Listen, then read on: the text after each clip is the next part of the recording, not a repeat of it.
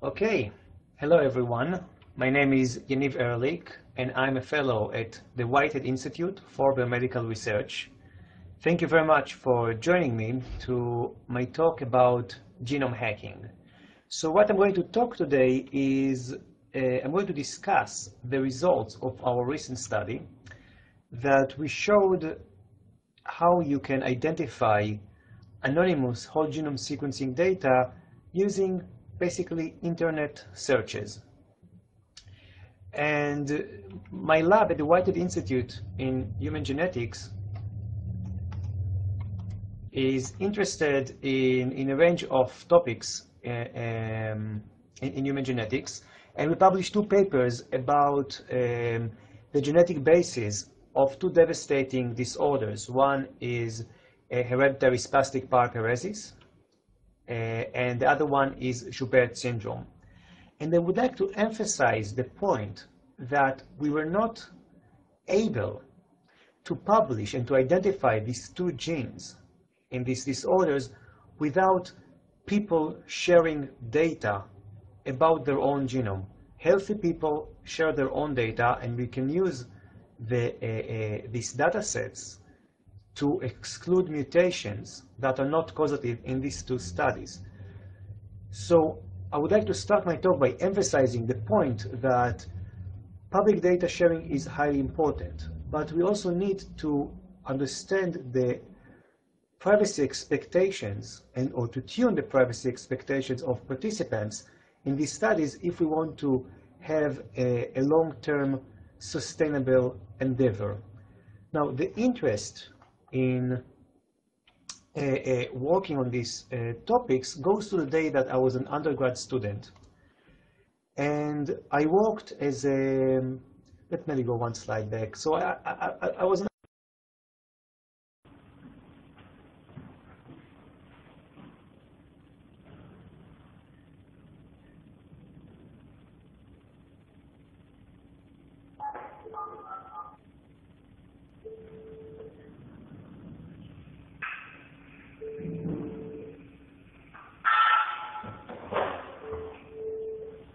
what you just saw because the movie was played prematurely. Basically, um, I worked as a security uh, um, in a security uh, company, and we used to give services for banks, credit uh, uh credit card companies to check the robustness of their systems. So what we used to do is to go to these uh, uh, um, companies and to try to do penetration tests. And the movie that I just uh, that was just playing on the screen was basically a penetration test in one of the banks that I worked. But I think it was if we can maybe play it again, I can I can explain you what what we saw over there.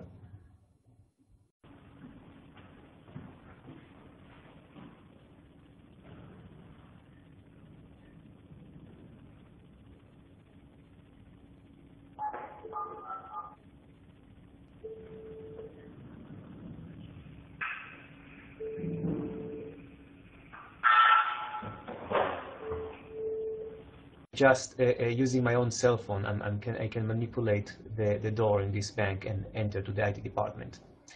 Anyhow, let's maybe skip to the next slide and let me talk about privacy in genomics instead of privacy in, uh, or instead how to hack into a bank. So I cannot see my slides for some reason, just one moment.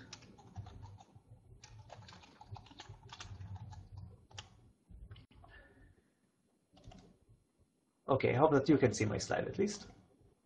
Okay, so the starting point of this presentation about the, the privacy of whole genome sequencing data is a study, is, is, a, is a manuscript published about a year ago by the NCI think tank.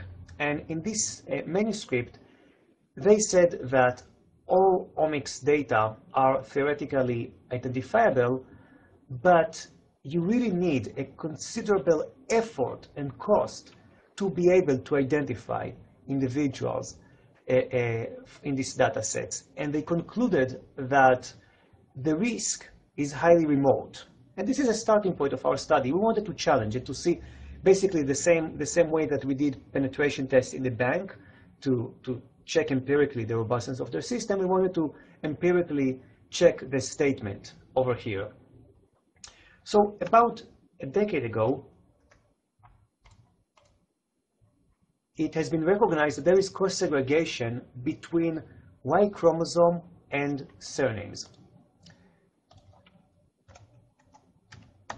I cannot control my slides there. Sorry about that.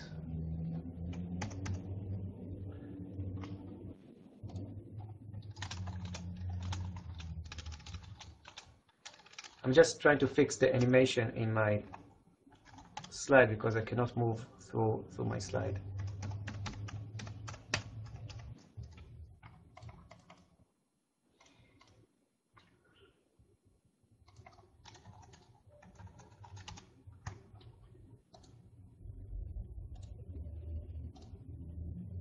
I'm really sorry about this technical difficulty. Let's try. Okay, here, here we go. So here we have, a, a, so as, as I told you that a decade ago, there, there, it has been recognized that there is cross-segregation between Y chromosome and surname. For instance, here we have the Smith family. So if this family has a son, then the father will give the son his Y chromosome and also his surname. Now, eh, in, in most Western societies. Now, if this son is getting married, he will give, and also has a son, he will give his son his Y chromosome and also his surname.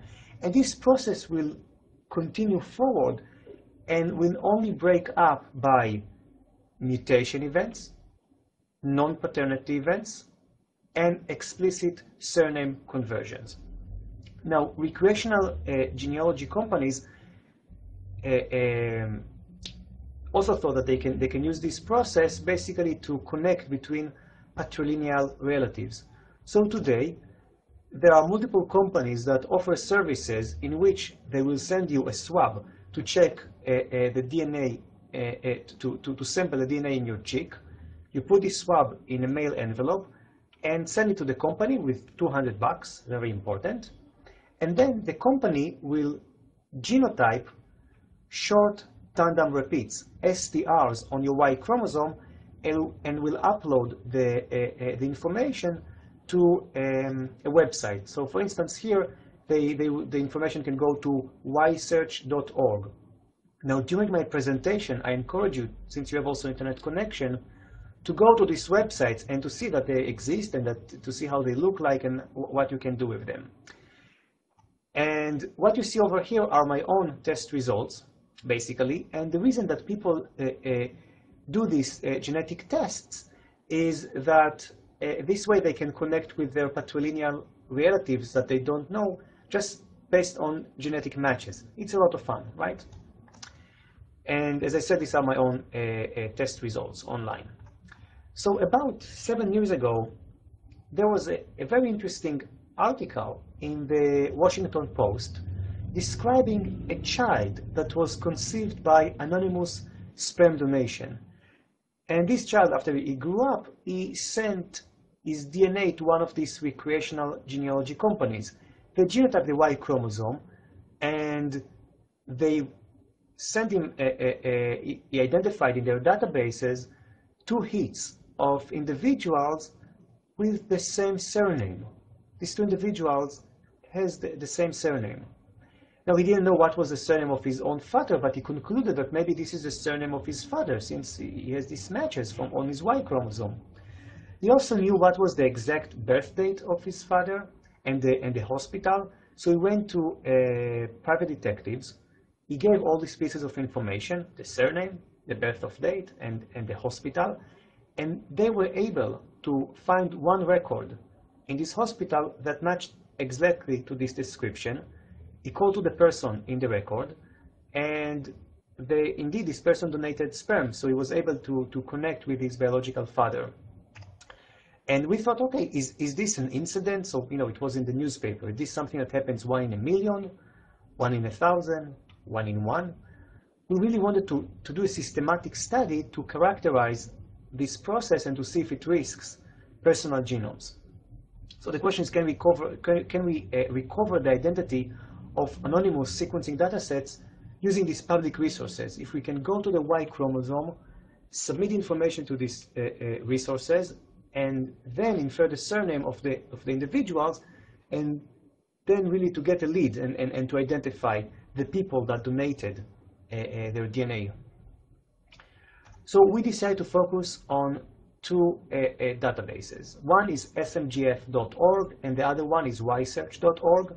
And together these databases have more than 135,000 YSTR surname records. And this data is accessible also to you. You can, as I said before, you have an internet connection, you can go to these databases and see that you can search the data. So the first thing was we wanted to see if the databases reflect the distribution of, the, uh, of surnames in the US population. So we compared the prevalence of the different surnames in the US population based on the census data, you see it here on the x-axis, versus the number of records for the same surname in the database on the y-axis. And we found that there is a significant correlation between the two. In fact, 68% of the US population of the surnames, oh, oh sorry, there is a 68% chance of sampling a random individual from the US population and that the surname of this individual will be in the database. So we don't have all the surnames in the database, but we have a significant amount of them. And for the ones that we do have in the database, they really reflect the distribution of the US population. So now we wanted empirically to check what is the probability to recover a surname of a male in the US population. Okay, so we took a YSTR of real people from the US population. We queried these two databases, SMGF and YSearch. And then we had some sort of an algorithm to infer the most likely surname, which I will not go uh, to the technical details, but it's available the, in, in the paper that we published. And then we infer the surname from the, from the YSTR markers, and we checked, is this the right surname or not? And we repeated this process more than 900 times, so more than 900 individuals in this process. And what we found was, oops, let me go one slide further. So first, here, here is what, what you see basically when, when we do this process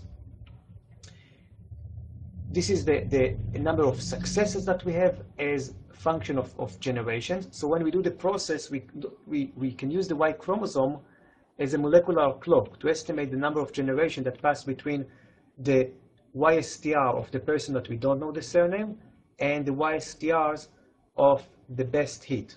We can see how much time elapsed between these two individuals and based on that get a confidence.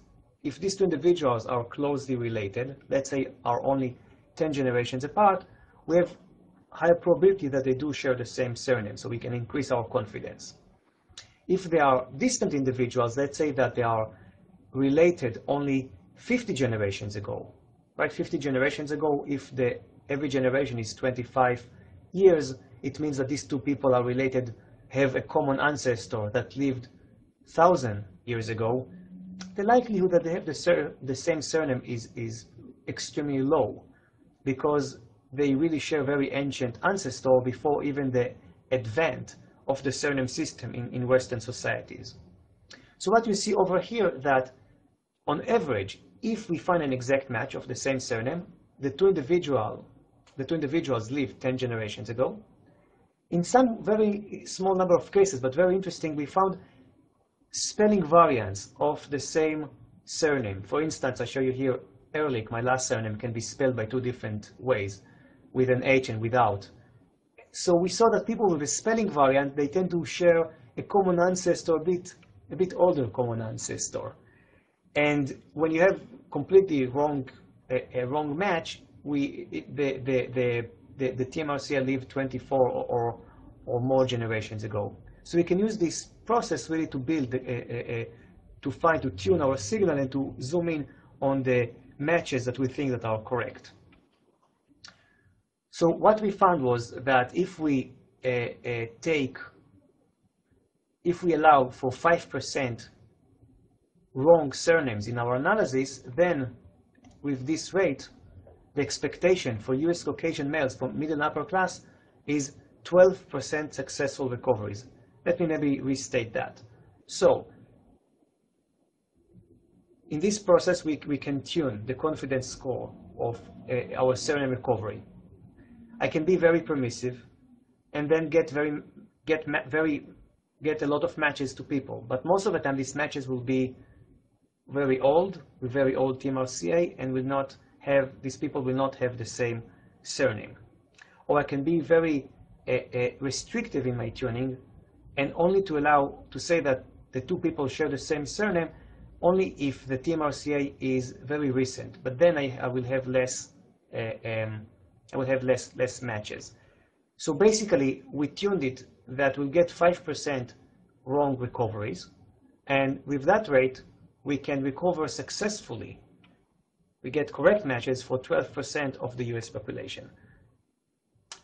Okay, so we have 12% of the US, we, we, can recover the surnames of 12% of the US population with Caucasian ancestry for middle and upper class but maybe all the time we just get surnames that are extremely uh, uh, um, prevalent in the population, such as Smith, Johnson, Jackson. There are millions of people in the US that will have the same surname, right? So even if I can recover the surnames, maybe I just I, I will not get enough information that I can zoom in and get individual because the surname is so prevalent. So we tested that empirically. And what we found is in, in this empirical test with the 900 individuals was that in most cases, the surnames that we recover are relatively rare. In most cases, the surname corresponds to one in 4,000 people. So it means that if I know the surname, I can go from a group of 100 and 50 million males in the US to only about 40,000 males just by knowing the surname on average. Okay, so we have 40,000 males, but now the question is, can I zoom in to a specific individual in these 40,000 males? So, okay, so surname recovery, even if it's successful, can only give me 40,000 individuals. I really want one the one that participated in the genomic study. How can we do that? So we um, we thought about the following scenario. Let's assume that we didn't only recover the surname of the individual, but also we have demographic information about this individual, such as the age and the state. According to the HIPAA privacy rule, age and state are not considered identifiers. So in some databases, and I'm going to show you real examples, you expect to find the age and the state of individuals that donated their, their genome. So what would happen if I have the age information, the state, and I can recover the surname? So we did a sim we, we, we conducted simulations using the census data. We took the age distribution of males, let's say someone that is 40 years old, with uh, the state, let's say Colorado, and the surname, let's say Adams. And then we ask how many individuals in the US would match such a profile. Adams, Colorado, 40 years old. We conducted a simulation 100,000 times, and what we found was that age, state, and surname, this profile gives me less than 12 males in most of the cases. So again, we start with 150 million males in the US. If I know the surname, I can go to 40,000 individuals. Then if I add the age and the state information, I will go to 12 or less people in most cases. Now, when you have 12 people, it's very easy to know who is the individual that donated the data. First, you can just call all 12 people and ask them, did you, did you participate in a genetic study? That would be one option. Or any other, other piece of information that is posted with the genome can really help you to identify the individual. For instance, the pedigree structure or, or, or uh, other phenotypic uh, information. So that's when it becomes tractable. Okay, so so far I just showed you um, the things that are based on, on multiple uh, uh, pieces of evidence, right? But let's now try to stitch everything together. So we decided to focus on Craig Venter. Let's see how it works. We took Craig Venter genome from uh, NCBI, we downloaded his genome, and we profiled the short random repeats in his, on his genome with Lobster. This is a tool that we published about a year ago in uh, genome research. And this tool allows you to profile short random repeats in high throughput sequencing data. So, for example, we found that Craig Venter has 17 repeats on the Y chromosome marker called DYS458. Then we went to ysearch.org, to the search mechanism, and let me zoom in. And we just inserted for each marker that we found, we just inserted the number of repeats to the search interface. And we clicked search on this web page. And after a few seconds, we found that the top match, the top surname predicted by this database is Venter. Now, I told you that this is based on publicly available resources. So if you want to replicate what I just did, you can go to the link that, that is posted on the screen right now. bit.ly Craig underscore Venter underscore haplotype underscore updated. Go to this link. It will redirect you to the YSearch webpage with all the markers that we found in the genome of Craig Venter. Just click search and see if you can recover and, and, and see that Venter is the top match uh, in, the, in the database. So basically what I just showed you was a way I just show you how we can take whole genome sequencing data of an individual and using just computational tools and publicly available resources, we can get the surname of this individual. And also we verify that this DNA doesn't belong to Craig Venter. It's someone else's in his family that donated the DNA. But okay, so we can get the surname Venter from Craig Venter genome. But can we really zoom in and get Craig Venter with this information. Let's see how it works. So if we know the state, California, and that uh, Craig Venter was born, the year of, of uh, birth is 1946, and he's also a male, we can go to public record uh, search engines, such as ussearch.com or peoplefinders.com, and insert these four pieces of information the surname that we recovered, the state, the year of birth, and we just we can filter for only male hits in these in these searches. So we did this process, and what we found in ussearch.com was we, we identified two individuals that matched this description. Venter, California, born, were born in 1946, and they were males. One of which was our friend, Craig Venter himself. So I just showed you how we can take whole genome sequencing data and using only computational tools and internet searches to zoom in from 150 million individuals to just two individuals, including Craig Venter himself. Okay, but, but you know what? Maybe Craig Venter was just cheating, right? Because we know that this person is Craig Venter, and we search for the same person that, that we know his identity. What I really want to show you is that we can use this process to identify anonymous personal genomes, not just people that we know. So we focused on the uh, CEU panel in the Thousand Genomes project. The CEU panel is composed from participants from, from Utah. And we took 10 genomes from this panel. And again, we just profiled the Y uh, short tandem repeats in these genomes with lobster. And then we queried these two websites with the YSTR markers. And we got eight certain predictions with Utah ancestry. So this is actually quite good, right? We, we're looking for people in Utah, and we got certain predictions with people with Utah ancestry. But did we get the right individuals? So we decided to focus first on this family that I show you over here. This is a three-generation family.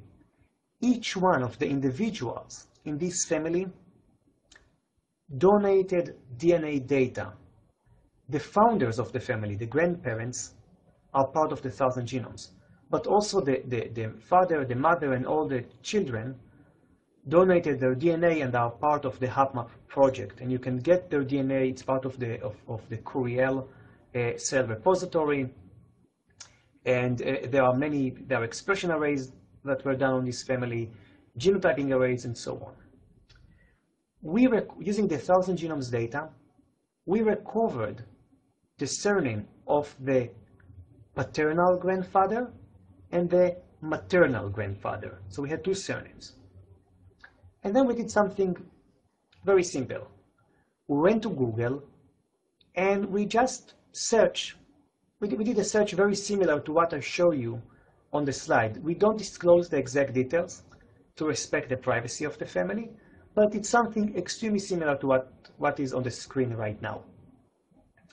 And the search in Google, we just clicked search, the top hit of the search, the first link in this Google search was an obituary that exactly matched the description of this pedigree in the Curiel uh, cell repository. What do I mean by that? First, the number of children in this obituary was exactly the same to the number of children in the pedigree in the Curiel uh, website. The birth order of males and females was exactly the same. Now this is a big this is this is a big family with multiple kids. What are the chances that each one of these kids will be exactly the same, right? The male and female. Every time it's like tossing a coin, and we toss this coin multiple times. The surname of the father in the obituary matched to the surname of the paternal grandfather. The maiden name of the mother matched to the surname of the maternal grandfather. And these two surnames are quite rare in the population. And also we check the ages of some of the people in this, uh, uh, uh, in this pedigree and match it to the people in the obituary. And the ages were exactly the same. So what are the chances that we found the wrong family? And we did a calculation and we estimate that the chances of finding the wrong family after scanning all households in United States is 5 times 10 to the minus 9. Extremely, extremely small. But you know what? Maybe it was just beginner's luck. I just showed you one family, right? Let's see if we can replicate this process. And indeed, we can replicate it we identified another family from this in from the thousand genomes using the same technique, and another family. All of which are big families, and the chances that we've identified the wrong family are quite low after scanning all households in the United States.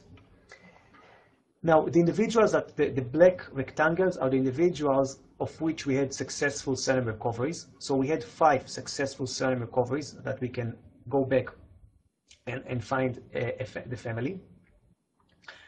And we could identify, so again, these individuals, it's not just that the founders, just the grandparents, donated their DNA, but all the entire family donated their DNA.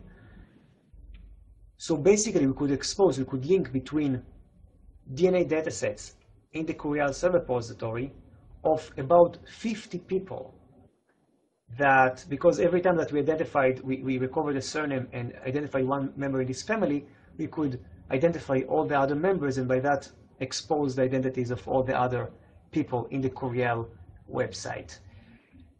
But we had so much information at that point that we could even infer the link between the people that donated their DNA to recreational genealogy and the people that participated in the Thousand Genomes Project. So the people, the, the, the red labels just shows the line of the, uh, uh, the lines of people that donated their DNA to the people that we identified. And the arrows shows the people that participated, that donated their DNA to recreational genealogy. I want to emphasize this point because it's extremely important. The people that donated their DNA to recreational genealogy are not the same people that are part of the thousand genomes. We can use a, a not we can use far relatives because of the propagation of because of the association of Y chromosome and surnames. For example, in the pedigree uh, in the middle, you can see on the on the maternal side that the second cousin, once removed of the thousand genomes uh, participant, he donated his DNA to recreational genealogy. And by doing so, he exposed the identity of his entire family. On the third pedigree, the, the, the pedigree on the right, you see the grandchild that is not part of the, of, of, of the Coriell database, donated his DNA to recreational genealogy, and by that, he exposed all, the, all his entire family, including his, his grandparents, that donated their DNA to research. So here is the thing. Maybe not. Let's let's go to the next slide. Oh, next slide over here. So let me summarize this this part. I showed you a way how we can um, breach the privacy of individuals. There is no experimental work involved. I can just use computer resources to profile the YSTRs and to go and search the internet databases. So basically the entry level is not as if you need to have a lab or you need to have access to, to PCR or something like that. You just need access, you need a, a good computer and access to the internet.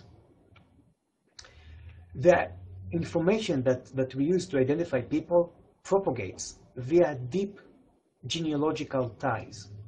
So it means that if you decide to participate in a study and your second cousin, once removed, donated his DNA to recreational genealogy, if you're a male, there is a chance that we that someone can identify you because of, of, of the, the, the, way that the information propagates. And I also showed you that this the attack completely relies on public resources. You you don't need any special access to any database. All the data is available online, and I, I gave you links to these databases. And I showed you evidence based on testing close to 1,000 YSTR haplotypes to recover the, the, the rate, the probability uh, uh, of a surname in the United States. I showed you how we can identify Craig Venter and that we can identify close to 50 indiv uh, individuals that are part of the Coriell database using this technique. So our study was published in Science in January. And before the publication, we this is you know it's it's it's controversial study, right? Like you want to make sure that you, you, you expose this vulnerability, but to do that in responsible way. So before the publication, we went and we talked with all the stakeholders that we can think that are involved in, in, in the thousand genomes, uh, uh, uh, um, in, in this cohort, in the thousand genomes. So we talked with the thousand genomes steering committee, with the NHGRI, and with the University of Utah that originally collected these samples. And we, we got very, you know, this uh, um, received very uh, uh, nice uh, attention from, from, the, from the community. In fact, uh, Nature Editorial thought that this was a very uh, um, a good way to address vulnerabilities in privacy research. Also, we, we based our, uh, uh, we, we, we discussed our results with the NHGRI, and we hold on our publication until they were ready to, to respond to, to, to this uh, vulnerability. So what they did, they removed the ages from the Curiel database. It doesn't completely prevent identification, but it raises the, the bar. It, it becomes harder to re-identify these people. And also, I highly encourage you to read their, their perspective about our study. Basically, we hold on the publication of our study until they wrote their perspective, so they can, you know, they, they, we, we publish it back to back with them to give the readers really a, a integrative and comprehensive overview of, of, um, of, of this vulnerability. So let's go back to, to the, our starting point. So, you know, we said no, the starting point was that all mixed data are theoretically identifiable, but you need this considerable effort and that the risk is highly remote. And what we showed you that at least technically, uh, this risk is not highly remote and it, it's feasible to identify subsets of genomes that are out there uh, using just public resources. Okay, so I have another part of, of my talk, and this part is more of a conversation, how we should move forward. But before I go to this part, let me, let me go to the Q&A, and let's see, maybe there are some questions that I can address, and then we can, we can move to the second part, which is, it's basically more kind of like a slides to facilitate the conversation and how to, uh, uh, how to move forward. But before maybe I do that, let me just, I want to acknowledge the people that were involved in this study. So most of the study was done by Melissa Jimrick. She's a second year Harvard MIT student in my lab, very talented uh, student. We also collaborated as part of this study with Annie McGuire in Baylor and uh, David Golan and Eran Halperin uh, from Tel Aviv University. So now I will go here and let's see the Q&A.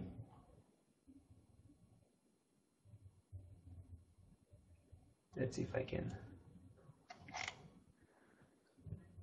Um, okay. So we have, I, I, hope that I pronounced the name correctly, Moon Ching Lee.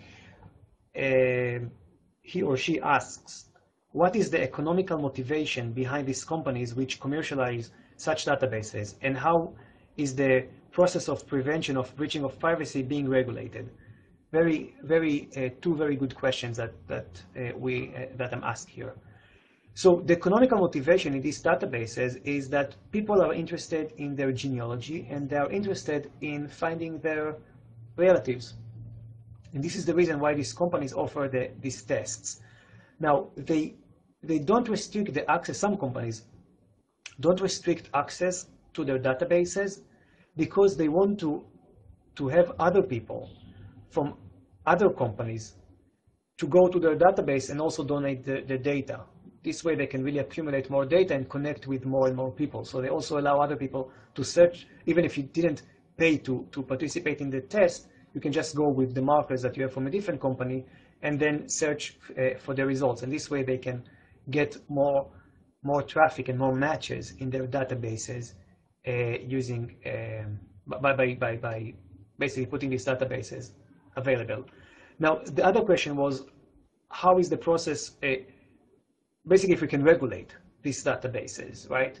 So there are two answers uh, for, for, for, this question. The first answer, that it's extremely hard to regulate anything on the internet, right? People they own their own genome. They can publish their own genome, right? We, we cannot tell people don't publish your own genome. And once these databases are set, it, it, it's extremely hard to, to say that you are not allowed to publish something about yourself online, right? The second uh, uh, answer for this question is that even if right now there will be some regulation and somehow these databases will be shut down, there, the, the, information is already scattered online. So there are other databases that replicate, that mirror the, the, the, main database, and they are in other places outside of the US. Some, one database is actually in Russia, quite big database. I think it would be extremely hard to, to develop a legal framework that will allow the, the regulation or, or to res restrict access to these databases. And what we have right now is this complex ecosystem, right, that um, we have recreational genealogy on one side. We, we don't want to harm this industry. This is a wonderful industry. As I said, I participated in some of the tests. And also we have the scientific, right, the, the, the scientific endeavor that we collect and we want to share whole, uh, uh, we want to share as many genomes as possible. we just need to uh, um, to think how this in this ecology how the two this in this ecosystem how these two activities can live together. Okay, we have another question from Fiona Nielsen, and she asks, the study you showed was based on repeat regions. Do you have some comments on the risk of identification from SNPs alone? Very good question.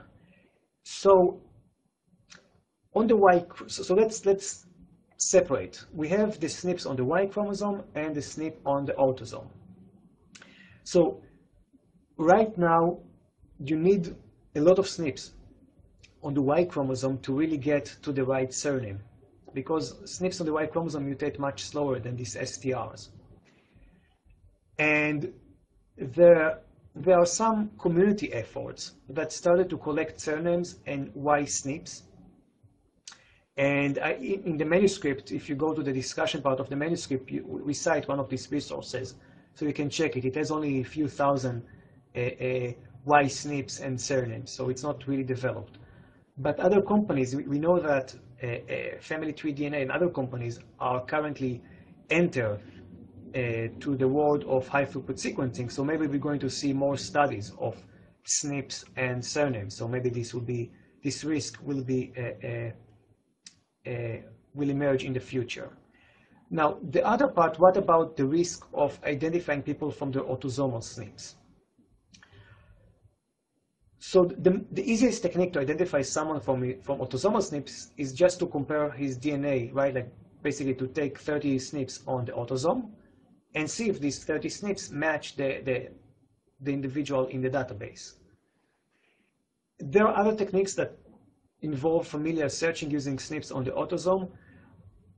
There are some papers, more theoretical papers about it, but I'm not I don't know any study that used publicly available resources that you can take autosomal SNPs and use them to search a, a relatives of people. Although I think that there are at least few resources that um, allow you to do that, but there are no studies that really check that empirically.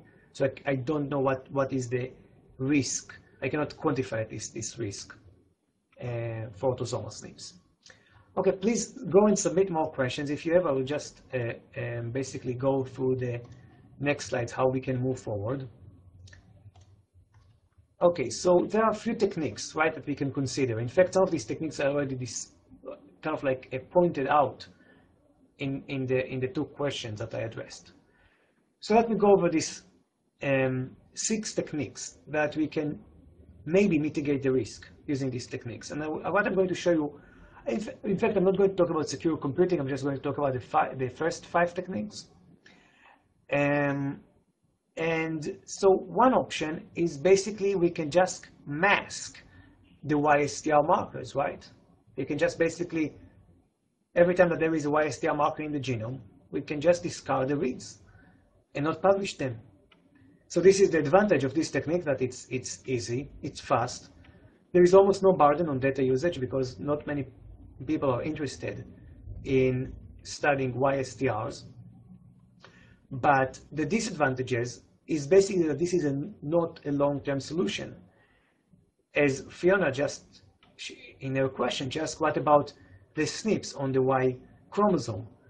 So there is a possibility that these SNPs can still be used either to, to search genetic databases or that we can infer the Y STRs, we can impute the Y STRs using the SNPs. And we, discussed this process in the paper. So basically you can circumvent the masking just by looking at the SNPs and, and placing back the YSTRs. So YSTR masking is not a good technique. Another uh, option is if we just um, basically, what if we take the entire Y chromosome and just toss this Y chromosome away, right? This for sure will eliminate the possibility for surname inference. The disadvantages is first there is some community pushback. So the director of the Whitehead Institute where I work is David Page and he's highly interested in the in the Y chromosome. And uh, uh, I don't think that people that are interested in the Y chromosome are going to like this, this option.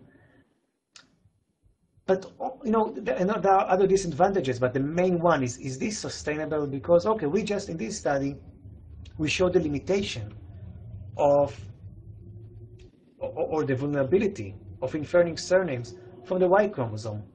Maybe tomorrow there will be another study using autosomal SNPs that will allow you to infer uh, uh, different types of relationships and use that to triangulate individual. If we start this process of masking areas in the genome, I don't think it's going to be sustainable. And I don't think we should address challenges by masking areas and, and chopping the genomes into pieces. Okay.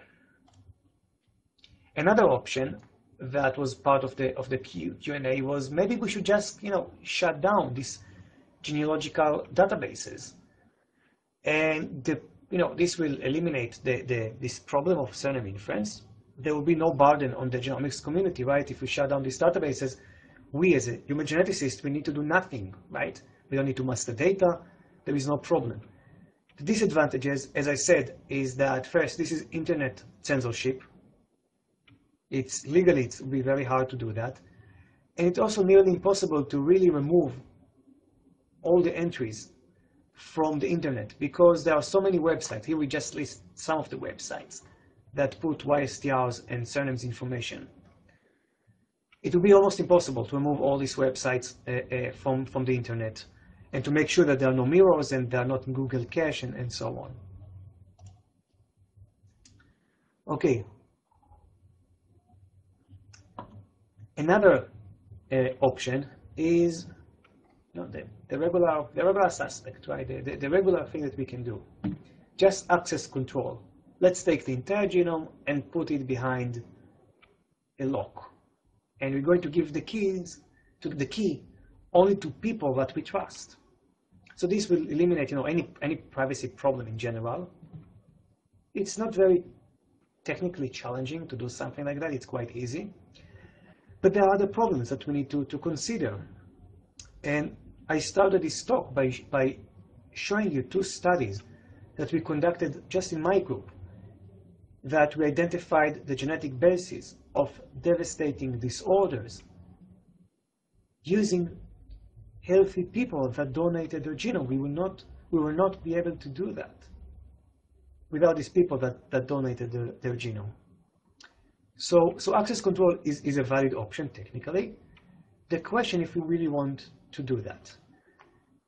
Another option that I really like and I advocate, but again, it's, it's, a, it's personal taste, right? Is that we will continue to do data sharing, but we will tell our participants about the risks in, in, in whole genome sequencing. We will tell them that they might be identified.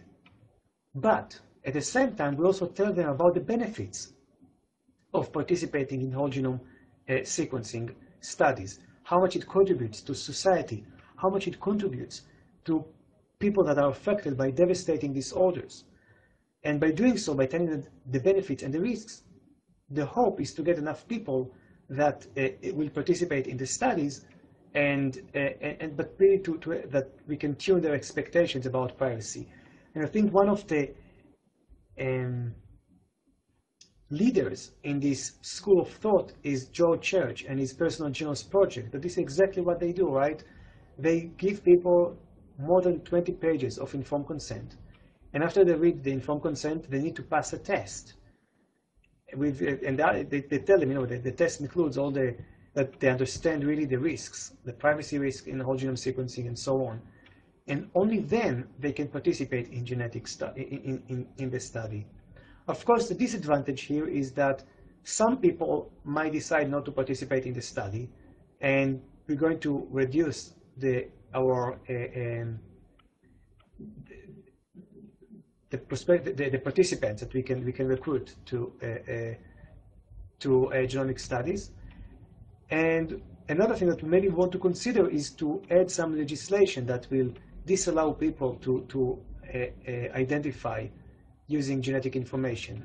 But the disadvantage over here, of course, is that legislation is, is, is hard. It's not something that will happen um, tomorrow. Okay, so basically I finished my, my presentation and there is another question And the question is by Metin. And he asks, can we apply this Y chromosome system to the mitochondria? And are there any privacy problems in mitochondria databases, uh, uh, similar to the YSTR surname studies? This is a great question. So first, people also share mitochondria, and you can go to mitosearch.org um, so and see that people people share this information. Now, with the mitochondria, the serum doesn't properly like I, I'm not aware of any identifier that propagates with the mitochondria because most in most Western societies the serum propagates from from the father side. From the mother side, I, I, it's harder to find any identifier, at least that I can think of, that, that goes this way. In addition, the mitochondria doesn't have the same revealing power is the Y chromosome. It, it's much smaller, and you cannot get the same resolution as with the Y chromosome. So it's hard to stratify between two individuals that share a recent common ancestor versus two individuals that share a very old common ancestor. So it's less revealing. So even if, if there was some identifier, it was hard to tell, it, it was hard to, to extract this identifier accurately, the same way that we do with the Y chromosome. Okay, so I will refer you to the website, the bioconferencelive.com, CMECE, if you want to obtain credit. And I would like to thank you for, for being in this conference and also to apologize for the technical difficulties at the beginning. And thank you very much.